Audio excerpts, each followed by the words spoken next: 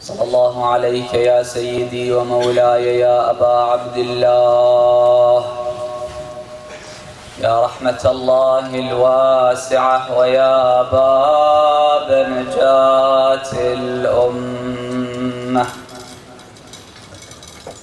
قريب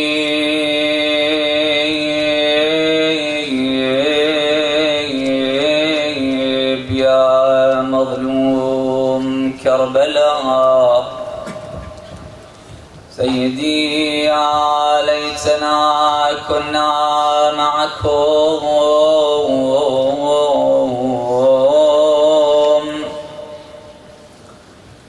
فنفوز فوزا عظيما.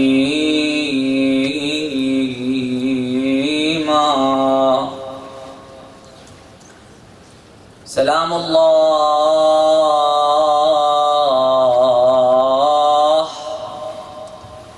والسلام ملائكته المقربين These are the words of Imam Sadiq alayhi salam in his salutation and his uncle Abul Fadl Abbas. سلام الله وسلام ملائكته المقربين وأنبيائه المرسلين والزاكيات الطيبات فيما تغتدي عليك وتروح يا ابن أمير المؤمنين. ورحمة الله وبركاته. إنا لله وإنا إليه راجعون. وسيعلم الذين ظلموا أي منقلب. ينقلبون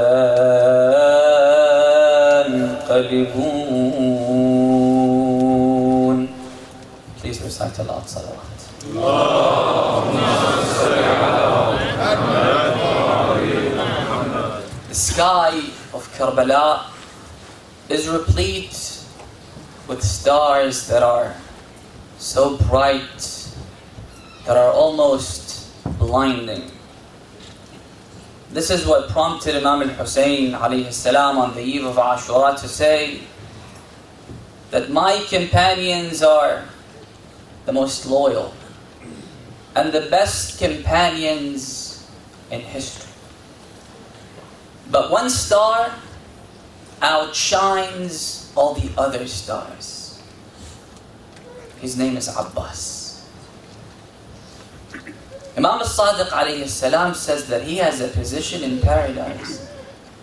That all the martyrs, and there is nothing above martyrdom. He has a position in paradise that all the martyrs on the day of judgment will wish if they were in his position. Abu al-Fadl has many virtues. And one of the tragedies is that we only have 10 days to speak about these personalities. Otherwise, we could spend 1,000 days talking about one of his virtues. He was courageous and brave. He was loyal.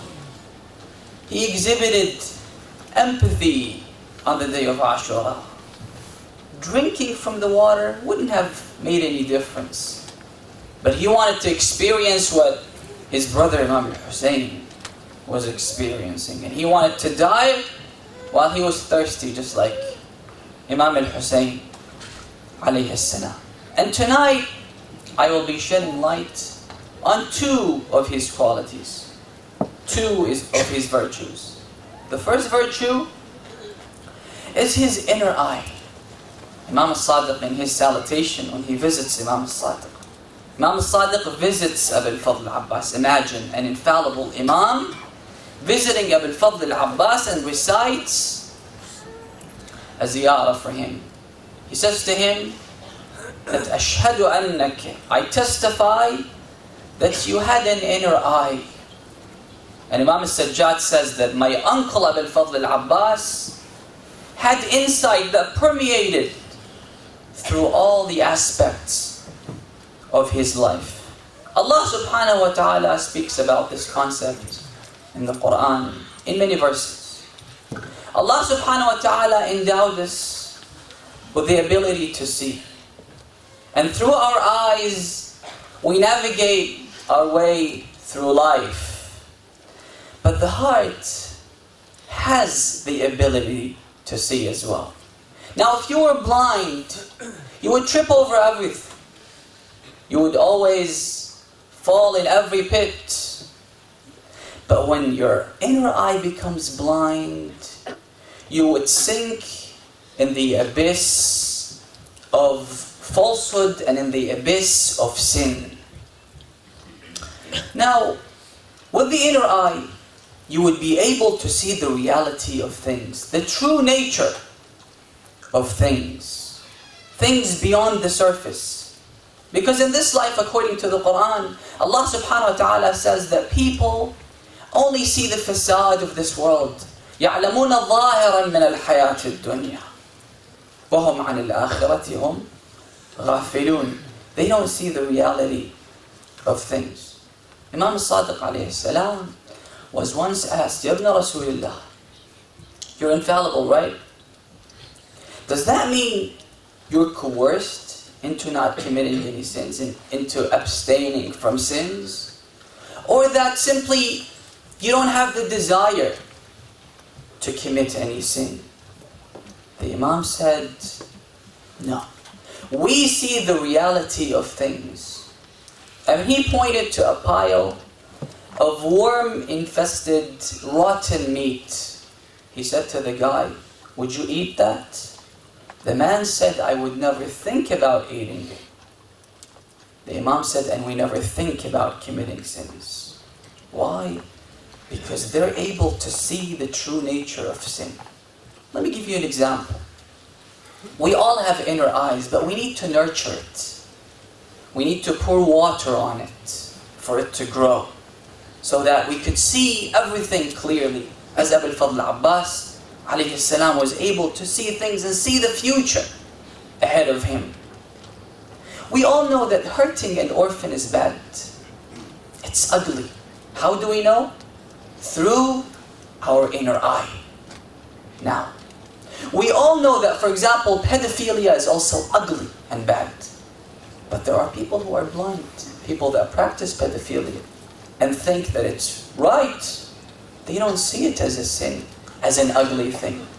Incest is, by all means, repulsive, but there are people that practice it and think it's okay. These people are blind. Yusuf alayhi salam is a good example. He was cornered, he was in a room, he was young, he was only 16 years old, and he had the tools He had the desire. He had the appetite according to our narrations and according to the verse in the Quran. وَلَقَدْ هَمَّتْ بِهِ وَهَمَّ بِهَا لَوْلَا أَنْ رَأَى بُرْهَانَ رَبِّهِ And Zulaykha was the most beautiful queen. She said to him, Yusuf, look at me, let's commit the sin. We're alone in the room. He said, مَعَاذَ اللَّهِ He could see what she couldn't. إِنَّهُ رَبِّي أَحْسَنَ مَثْوَايِ after all the good that Allah subhanahu wa ta'ala has done to me, I commit the sin, then he says, إِنَّهُ لَا يُفْلِحُ الظَّالِمُونَ The people that commit sin will not succeed in life. How?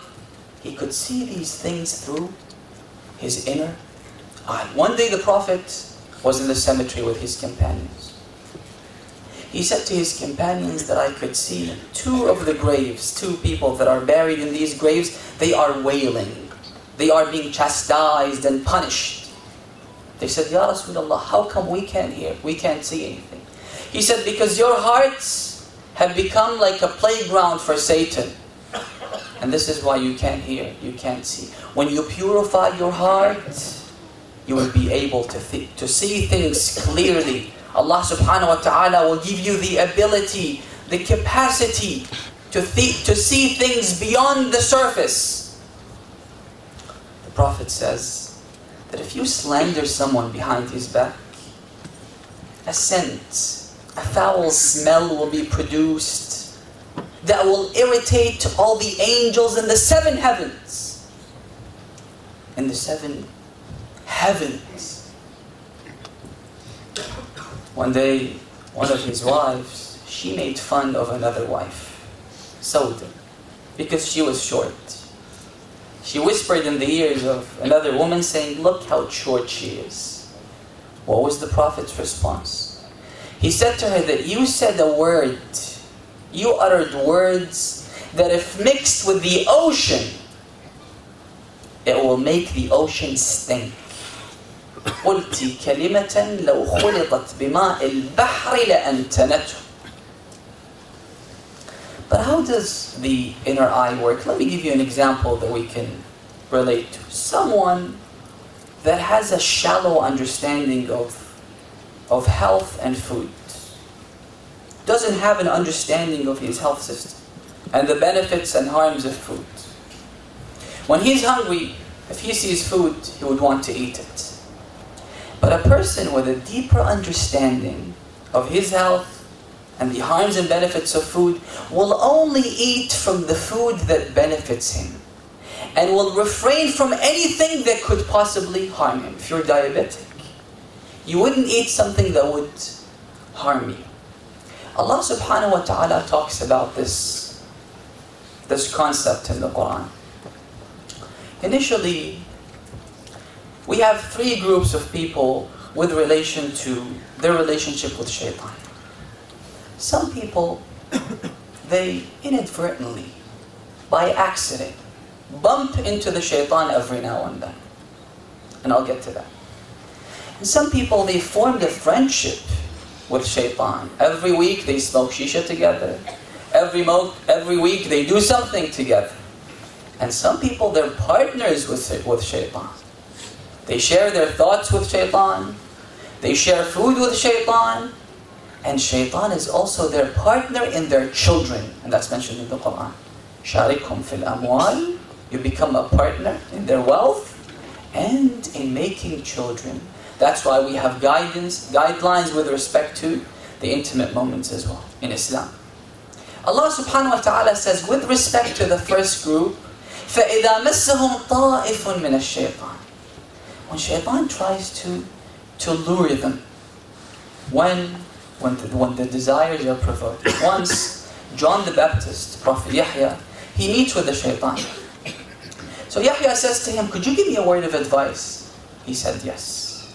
One of the things that I do is that when a human being becomes full, if he eats food until he's satisfied, then his intellect will not function properly, while his desires will become active. That's when I whisper in his ears. Yahya said, I make a vow. I vow not to ever become full, not to ever become satisfied with food. Shaitan then says to him, and I vow not to give a sincere advice to humans ever again. فإذا مسهم طائف من الشيطان When shaitan whispers in their ears, and shaitan, he leans on the our interior as well, our desires. So it's from the outside and from the inside, we're intoxicated. And then ذكر Allah, that all of a sudden, they remember Allah subhanahu wa ta'ala. I don't want to commit this sin. They sober up. فَإِذَا هُمْ يُبْصِرُونَ All of a sudden, they can now see things clearly. They have a, they have a full view of life and a full understanding of the repercussion of sin. Let me tell you how it works. Umar ibn Abdul Aziz, the famous Umayyad Caliph, he wanted to change a very dangerous tradition. Muawiyah was the first to curse Amir al-Mu'mineen on the pulpit, before and after every ser- ser- sermon. And he made it a law, he enacted a law asking all the speakers to curse Imam Ali salam before and after every sermon. And that's mentioned in Sahih Muslim as well. That's mentioned in Sahih Muslim. For 60 years, on 80,000 pulpits, Amir al-Mu'mineen was cursed. To an extent that they even built a mosque, naming it Masjid Sabbi Ali. The mosque was named after the cursing of Amir al-Mu'mineen. And the story behind it was one day Muawiyah, after he finished his, his uh, Friday khutbah, he came out of the mosque, he was approached by a man from Sham, he said to him, Ya Amir al-Mu'mineen, as they used to call him, you forgot to curse Ali ibn Abi Talib before and after the sermon. He said, did I? He said, yes. He said, bring the pulpit. They brought the pulpit in the middle of the road. He went on the pulpit and he cursed Amir al-Mu'mineen. Then they built a mosque calling it Masjid al-Sabbi Ali. Umar ibn Abdul Aziz for a reason. He was also an oppressor. And he is cursed by Allah subhanahu wa ta'ala according to our narrations. He wanted to change that, but he couldn't. It was very difficult because people were used to it. So one day he meets with a Christian man. He says to him that tomorrow I want you to come to the palace in the assembly and you propose to marry my daughter. He said, I don't want to marry your daughter.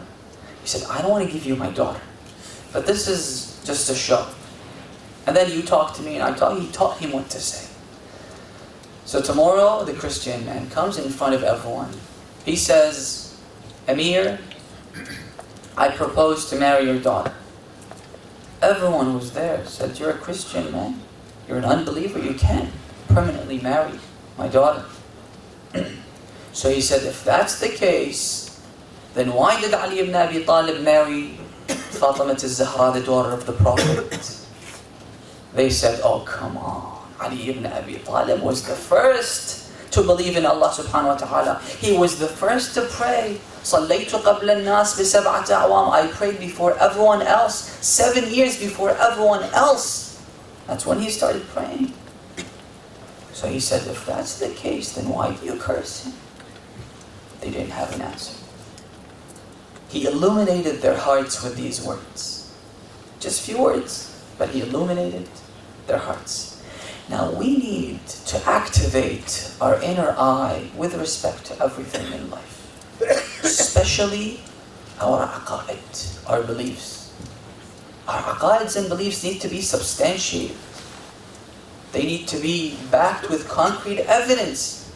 We need an inner eye to believe in Allah subhanahu wa ta'ala. Because once, when we pray, we say, Ashhadu an la ilaha illallah. I testify that there is no God but Allah subhanahu wa ta'ala.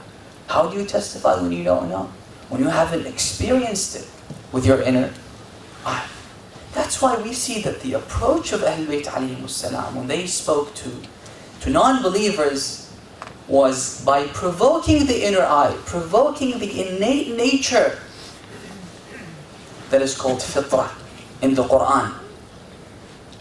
They not always resorted to sophisticated, complicated philosophical concepts. It was usually the basic things so that the hearts are enlightened.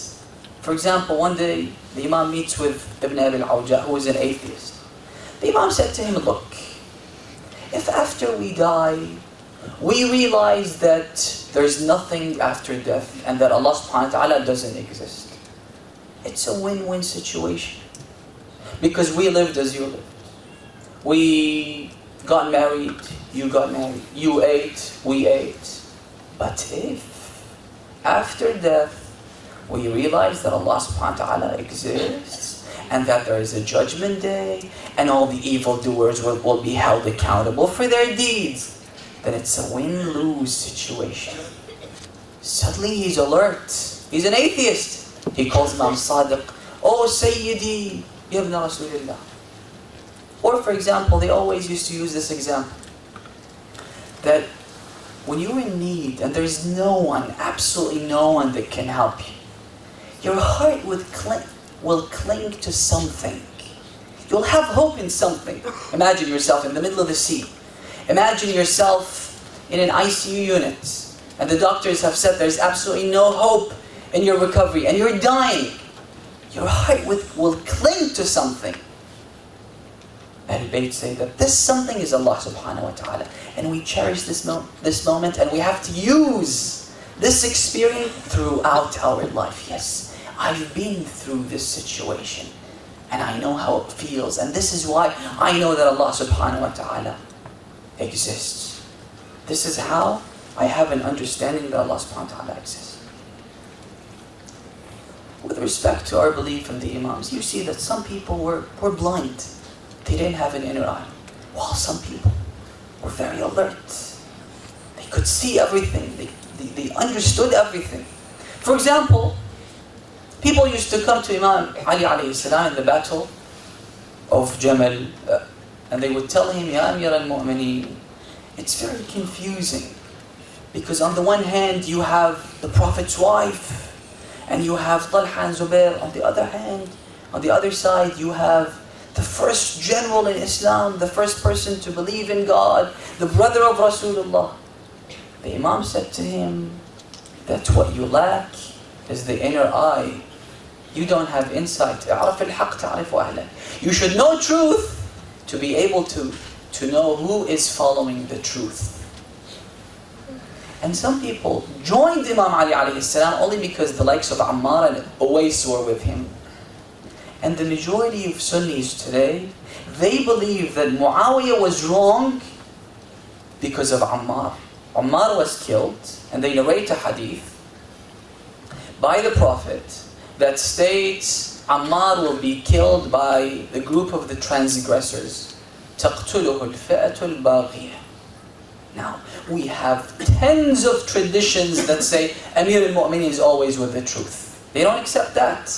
But because of Ammar, they say that Amir al-Mu'minin was rightful and that his enemies were not in his, in his battle with, with Muawiyah. On the other hand, you had people that had an insight that permeated in their all their aspects in, in their lives. People like Hajr ibn Adi. He came to visit Imam Ali on the 21st of the month of Ramadan. On the day Imam Ali departed this world. The Imam said to him, Ya Hajr, what will you do if you were asked to basically disassociate yourself from me? What will you do? He said, Ya Amir al-Mu'mineen, I am willing to be severed in pieces and not disassociate myself from you. And years later, they dug his grave and they killed all his companions. All he was asked to do is condemn Amir al-Mu'mineen, curse Amir al-Mu'mineen. He said, I won't do that. They said, should we kill you first or your son? He said, if you kill me first, maybe my son will, will change his mind. Kill my son first. His son was first killed, then he was killed. For Amir al-Mu'mineen A man said to Amir al-Mu'mineen, Ya Amir al-Mu'mineen, if you ask me to charge at a, at a mountain with my sword, I do it. Ya Amir al-Mu'mineen, I'm going to stay with you until I'm killed. His brother was killed in the battle, Now the brother wants to join. He wants to go to the battlefield. The Imam said to him, your brother was killed just moments ago. He said, Ya Amir al-Mu'mineen, I want to get killed as well. And I ask you not to wash my, my body. Leave, with, leave me with, with the blood on my, on my body so that this will testify for me on the day of judgment that I fulfilled my duty towards you, O Amir al-Mu'mineen. This is a duty that I had to fulfill towards you. Abu al-Fadl Abbas was nafid al-basira. To an extent that although they were besieged, all the enemies surrounded them, but he was as if he could see the future. As if he could see the millions of people visiting the shrine of Imam al-Hussein. He could see the future. This is how much iman he had, and this is how much insight he had. The second quality is his sense of responsibility. Brothers and sisters, we as human beings are responsible for what goes on around us. Animals are not responsible because they lack the ability to think and to sympathize with others. They follow their instinct. That's why you don't blame them if an animal attacks another animal. But for us, it's different. The first responsibility that we have is towards our religion. Abul Fadl Abbas, while he was fighting, in the poem that he recited, he said, uhami abadan an dini. The reason why I'm fighting is because of my religion. To defend my religion. And civilized nations are nations that protect their law. They don't break the law themselves, and they don't allow anyone to break the law. A friend of mine who lives in Switzerland said that in Switzerland, it's very, very, very difficult to work in the black market. Why? He said, for example, you work as a taxi driver and you don't have a license. The first person that will, the first passenger that will realize you don't have a license will report that to the police. Our responsibility towards our religion is to be firm, practice our religion, and do not allow anyone to break the laws of Allah subhanahu wa ta'ala. تِلْكَ حُدُودُ اللَّهِ These are the boundaries of Allah subhanahu wa ta'ala. فَلَا تَعْتَدُوهَا Do not transgress these boundaries. Beware of transgressing them. One of our duties today, we see people speaking in the name of Islam. Like ISIS, they call themselves the Islamic State. I don't blame them because they're using religion as a tool. They want to destroy religion from within. But I blame the media outlets. I blame all these magazines that use the name to describe them.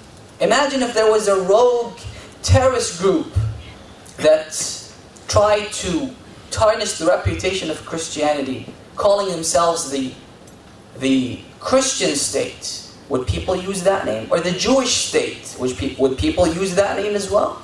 Absolutely not. Because they're branding themselves as, as an Islamic caliphate, an Islamic state that applies the rules of Islam. And they go against everything Islamic by being barbaric and by killing people. Our duty is to defend this religion. Abul Fadl Abbas didn't want to see people like Yazid misusing religion, abusing authority, and tampering with religion. This cannot happen, that's why إني أحامي أبدا عن دين. The second responsibility that we have is towards the Prophet and the successor of the Prophet. The one that occupies his position. The Imam of our time. And I spoke about that briefly. In the second night, our responsibility towards the Imam of our time is first of all to know him. Because Sahih al-Muslim, Sahih Muslim again says, Man mata, whoever dies without knowing the Imam of his time dies the death of, of people that used to die in the pagan era. With absolutely no understanding of Islam. And secondly, again, building a relationship with the Imam. And you can save yourself the hassle of, of investigating how he was born and all the traditions and all the history behind it by connecting with the Imam through your heart. And you'll feel the Imam's response. And this is why he's our Imam because he observes our every move. The hadith says that every Thursday night and every Friday, our report cards are given to the Imam. He marks our grades. And that's in the Quran. Allah subhanahu wa ta'ala says, قُلْ اعْمَلُوا Do whatever you want to do, فَسَيَرَ اللَّهُ عَمَلَكُمْ Allah subhanahu wa ta'ala is, is observing, وَرَسُولُهُ And His Prophet, وَالْمُؤْمِنُونَ And the believers. Who are the believers? Am I aware of, of what you do in, in private? Are you aware of what I do in private? No. That's why we need the Ahlul Bayt salam to clarify by saying that this is a reference to the Imam of the time. That's why when we do something bad, this would hurt the heart of the Imam. When we do something good, this will make the Imam joyful. Abul Fadl Abbas Again, in the same poem, when he was going back to the tent, he said, وَعَنْ إِمَامٍ صَادِقٍ يَقِينِ And also, I am here to defend the Imam of my time. And this is why he's so great. Because the way he defended the Imam of, of his time is, is absolutely unmatched. The third responsibility that we have is towards ourselves and towards our organs. Allah subhanahu wa ta'ala says in the Quran, Inna sam'a. You'll have to be answerable. What did you listen to? Don't say that music, big deal. The reason why people listen to music is because it's a big distraction. The reason why people listen to music is because it drugs the mind, drugs the heart. This is why people listen to music. إن السمع والبصر and your eyes والفؤاد كل أولئك كان عنه مسؤولا You'll be held accountable. Allah subhanahu wa ta'ala will ask you about everything that you looked at, everything that you saw, and everything that you heard, and everything that entered inside your heart. Third responsibility is towards our children. Allah subhanahu wa ta'ala says in the Quran that the worst amongst you, the losers on the, day of, on the day of judgment, are the people that lose themselves and lose their families, their children. Our first responsibility is to teach them, to educate them. Educate them what? To recite the Quran, to learn the Quran, and instill the love of Ahlul Bayt in their hearts. How? By telling them about Ahlul Bayt. I remember since the age of four, my father used to come every night before we go to sleep, and he used to tell us a story or two about the Ahlul Bayt for 10 years. And then he wrote a book, ألف قصة وقصة, a thousand and one stories, mostly revolving around Ahlul Bayt Again, this is your duty.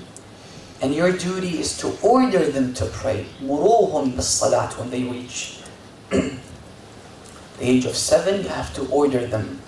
It's not obligatory for them, but it has to become a habit. Yes, when they grow up, they will learn about the benefits of salat and get a full understanding of salat and other obligations, but it has to become a habit. And brothers and sisters, allow me to take this opportunity to reiterate what Sayyid Dr. Zafar was saying. Imagine Imam al-Hussein alayhi salam, and this is Muharram, standing in this hall and asking you for help. He made this plea on the day of Ashura. He said, هل من ناصر ينصرنا? Is there anyone willing to help us? Who was he beseeching? His enemies? He needed help to fight those enemies. His words are still resonating till today. And helping Imam al-Hussein salam, manifests itself in helping the cause of Imam al-Hussein. And brothers and sisters, let's face it, 10, 20, 30, 40, 50, 100 years from now, we'll all be six feet under. You see this picture over there? Abu Hassan, rahmatullahi alayhi. We wouldn't be here if it wasn't for him. Now he is in his grave. Everyone that comes to this majlis and hears the name of Allah subhanahu wa ta'ala will be rewarded and a reward will be given to Abu Hassan forever. As long as this majlis, as long as these programs are running, the reward will also be given to Marhum Abu Hassan rahmatullahi ta'ala alayhi. So brothers and sisters, after we die, we need something. Because we will be staying in barzakh, which is the time between death and judgment day. Who knows, it could be millions of years. We need something perpetual. We, we, we need something running. And this is the best cause, and this is an opportunity. And you heard what Sayyid Zafar said. He burdened you with a responsibility, brothers and sisters. Even if it's just a pledge, even if you don't have the money, the hadith says that the moment you make the intention, you'll get the reward. As if you donated 10,000 pounds. The moment you make the intention. Because when you make a sincere intention, Allah subhanahu wa ta'ala will help you to raise this amount and help this cause. May Allah reward you all with the barakah, with the blessing of Allah salawat.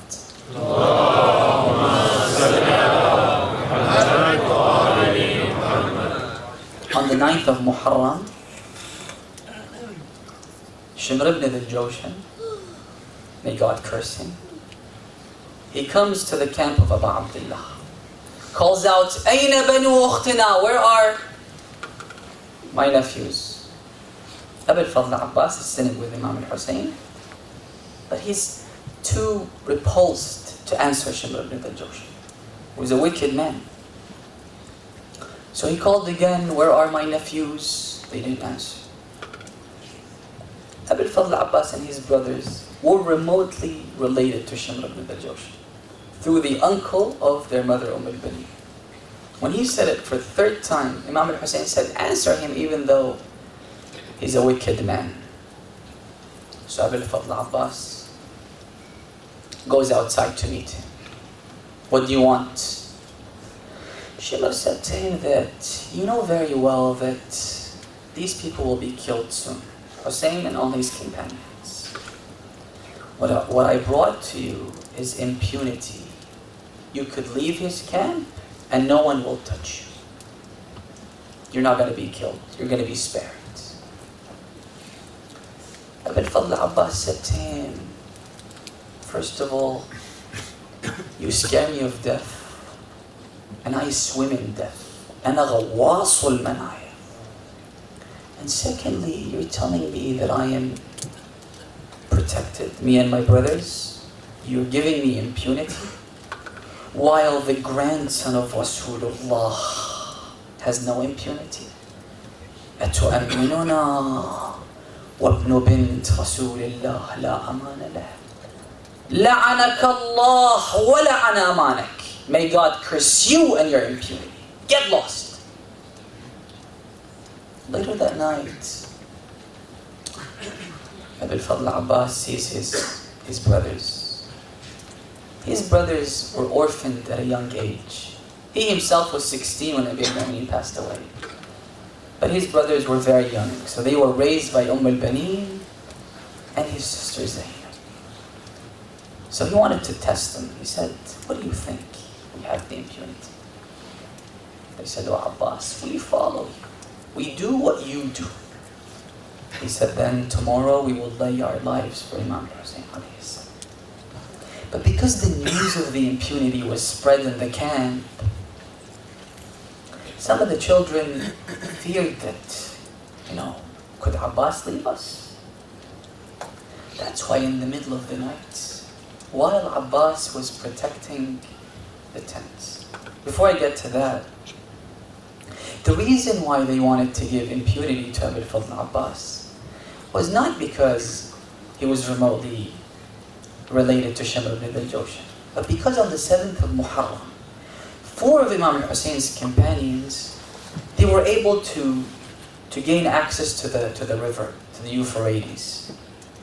The companions of, of Ubaidullah ibn Ziyad, his soldiers, they said, you're allowed to drink from the water, but you're not allowed to fill the containers and give it to Hussein and his children. They said that we're here to fill the containers and to to get the water to Hussein. So they filled all the containers. When they were about to go to the camp of Imam Hussein, to the tent, 4,000 soldiers besieged them. They were now surrounded by 4,000 people. Imam Hussein alayhi salam sends Abu Fadl Abbas, Arkab binafsi ant. Go on the back of your horse and go and save them. So he charges at them and he's able to save them and they're back in the tents. That's why they thought that this is a brave man. The best thing is to separate between him and Hussein. Because Hussein is enough for us. This is another sword that belongs to Amir al-Mu'mineen. And we all know how brave Amir al-Mu'mineen was. In the middle of the night, while the women were asleep, and the companions of Imam Hussein were worshipping Allah subhanahu wa ta'ala. They never slept they were praying and worshipping Allah subhanahu wa ta'ala because they knew that tomorrow they'll be killed. While Abbas was protecting the tent, he suddenly sees a shadow. Who knows, it could be an enemy. So he follows the shadow, and to his surprise, it's a shadow of a woman. Who is it? He said. She said, I am your sister Zain. Don't worry. He said to him, Abbas, I want to tell you a story. He wanted to alight from the back of his horse. She said, No, no, I want to see you on the back of your horse. She said that after our mother died, Fatima al-Zahra, my father, Amir al-Mu'min, our father, wanted to get married. So he asked his brother Aqil, who was a, a man who knew about the traits of the tribes. He said to him that I want, I want to marry a woman that was uh, conceived by, by people who are brave and courageous. He said, why, oh brother, Ya Amir al-Mu'mineen? He said, because one day my son Hussein will be alone and I want someone to be beside him, someone to help him. He said, then you're looking for Fatima al-Kilabiya Umm al Then she told him the story. After finishing the story, she held on to the rein of his horse with her right hand and pointed to the tent with her left hand and said, Akhi Abbas, O brother Abbas, and Nisa Nisa'ak. These are also your women. والحرائر حرائرك and these are also your progeny فلا تقصر عن نصرتنا please protect, protect us and remain with Hussein alayhi salam Ibn Fadl al-Abbas knew that this was like a, a test so he pushed into the stirrup of the horse until it was severed and unsheathed his sword and shook it and said, أختاه زينب أتشجعينني وأنا ابن من تعرفين You're encouraging me while you know that I am the son of Ali. I am the son of Ali ibn Abi Talib. Then he said, لأنعمنك عينا يا أختاه What you'll see from me tomorrow, you'll be delighted with what you'll see from me tomorrow. And on the day of Ashura, Abu al-Fadl Abbas came several times begging Imam al-Hussein to allow him to go to the battlefield. But the Imam would refuse. Until the last time he said, Aba Abdullah, I can't take it anymore. I can hear the children crying out, Al-Atash, Al-Atash, they're thirsty. Please allow me. The Imam said, if you must go, then go bring some water for the children. So he goes on the back of his horse and charges at the Euphrates. 6,000 people were guarding the river. They back away after he charges. He's on a mission. Imam al-Hussein sent him.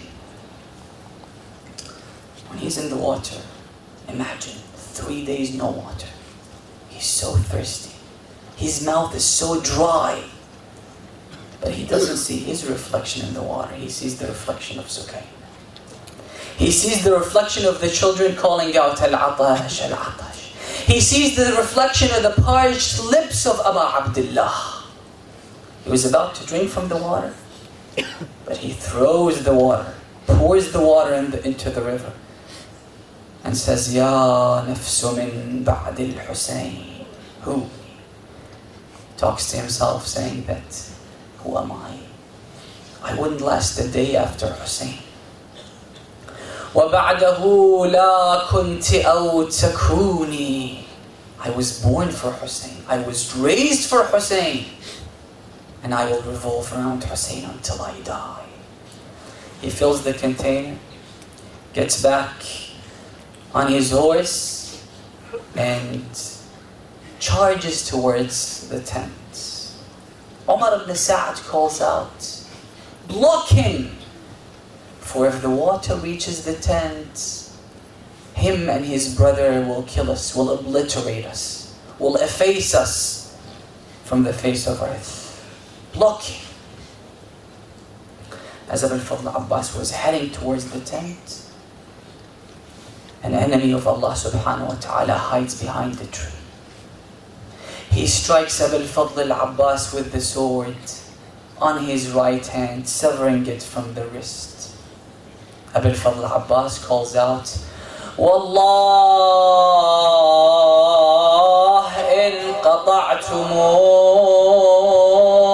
يميني by God if you sever my right hand إني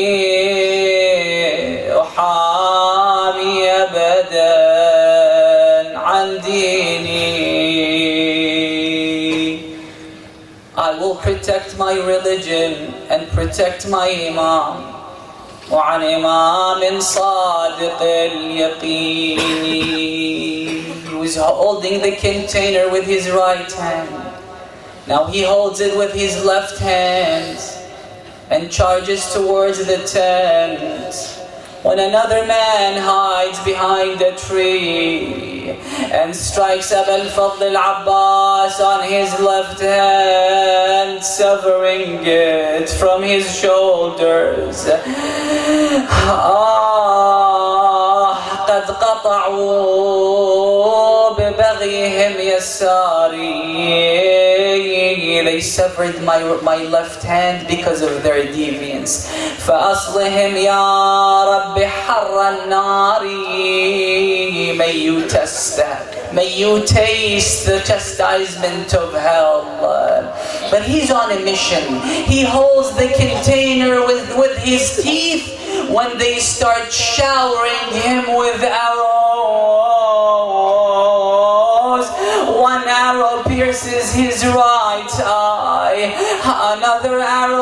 Pierces his left eye. He doesn't care because his only aim is to get the water to the tents for the children to for the children to be quenched. When an when another arrow pierces the container, so Abu al-Fadl al-Abbaya stands in the middle of the battlefield. He doesn't know what to do. He's confused because he doesn't have hands to fight with, nor does he have water to go to the tent with.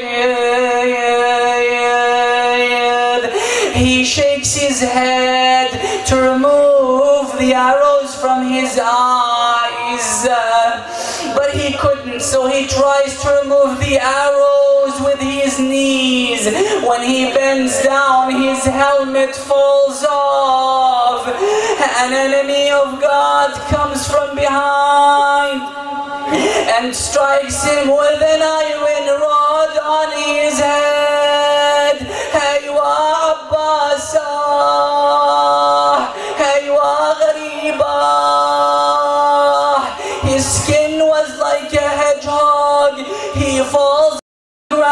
but he has no hands. He calls out, Akhi Aba Abdullah, come to me. Imam al-Hussein, like a bold eagle, rushes towards al-Abbas. But Abbas has no eyes to see with. He felt that someone is approaching. He thought that it was an enemy combatant that had come to finish him off. He said to the man, أقسم عليك بما تعبد I ask you in the name of whom you worship just allow my brother to come to me I want to say goodbye Imam al-Hussein says I am your brother oh Abbas الآن انكسر ظهري now my back is broken الآن قلت حيلتي now I don't know what to do oh Abbas When Abbas surrendered his soul, Imam al-Hussein charged at the enemies although he was very tired, tired saying, Where are you going? You have just killed my brother.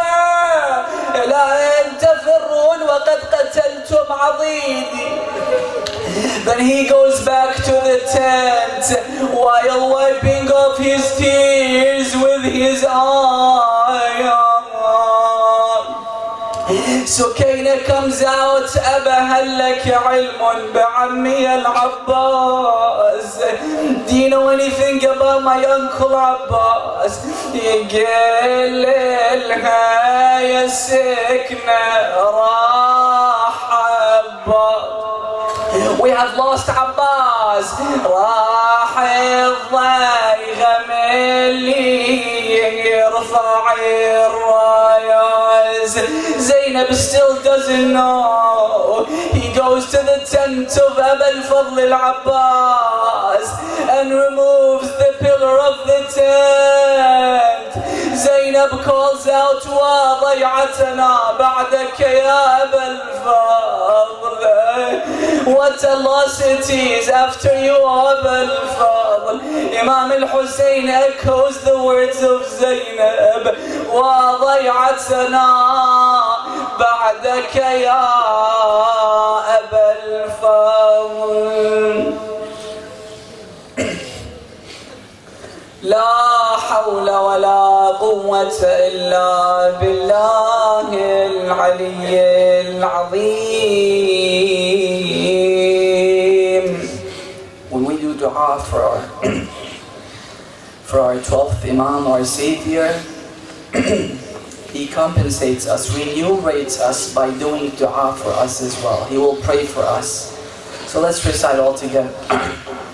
دعاء الفرج بسم الله الرحمن الرحيم اللهم كن لوليك الحجة ابن الحسن صلواتك عليه وعلى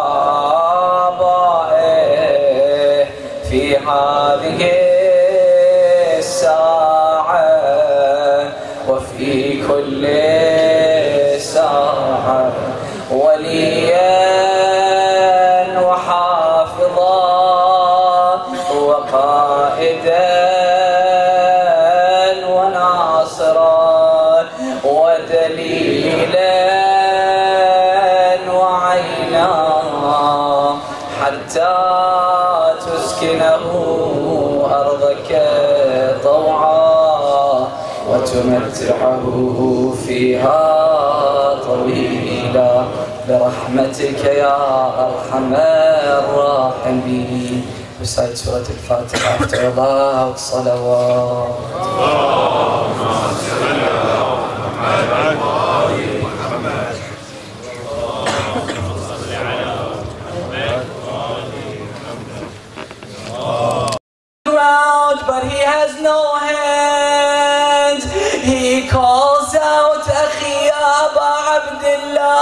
Come to me.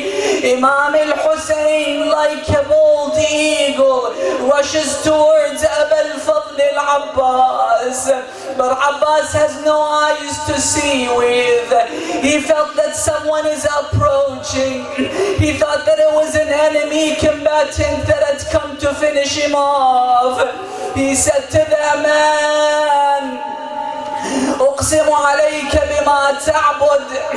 I ask you in the name of whom you worship Just allow my brother to come to me I want to say goodbye Imam al-Hussein says I am your brother oh Abbas الآن انكسر ظهري now my back is broken الآن قلت حيلتي Now I don't know what to do Abbas when Abbas surrendered his soul, Imam al-Hussein charged at the enemies although he was very tired, tired saying,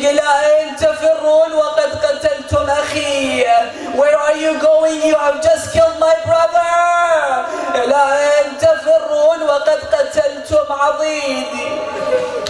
Then he goes back to the tent while wiping off his tears with his arm. Sukaina comes out أبا هل لك علم بعمي العباس Do you know anything about my Abbas? يقول لها يا سكنة راح عباس We have lost Abbas راح الضيغم اللي يرفع was. Still doesn't know. He goes to the tent of Abil Fadl al-Abbas and removes the pillar of the tent. Zaynab calls out, وَضَيْعَتَنَا بَعْدَكَ يَا أَبَا Fadl. What a loss it is after you الفضل Imam al-Hussein echoes the words of Zainab وضيعتنا بعدك يا أبا الفضل لا حول ولا قوة إلا بالله العلي العظيم dua for our for our 12th Imam, our Savior, He compensates us, remunerates us by doing dua for us as well. He will pray for us. So let's recite all together. دعاء الفرج بسم الله الرحمن الرحيم اللهم كن لوليك الحجة ابن الحسن صلواتك عليه وعلى آبائه في هذه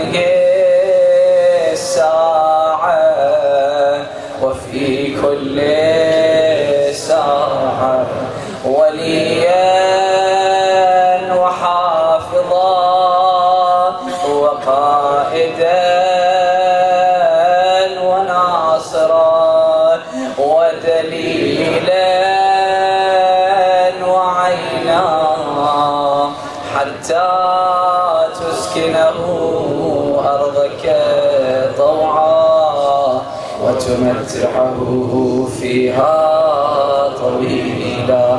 برحمتك يا أرحم الراحمين. رسالة سورة الفاتحة. أفتح الله والصلوات اللهم صل على محمد.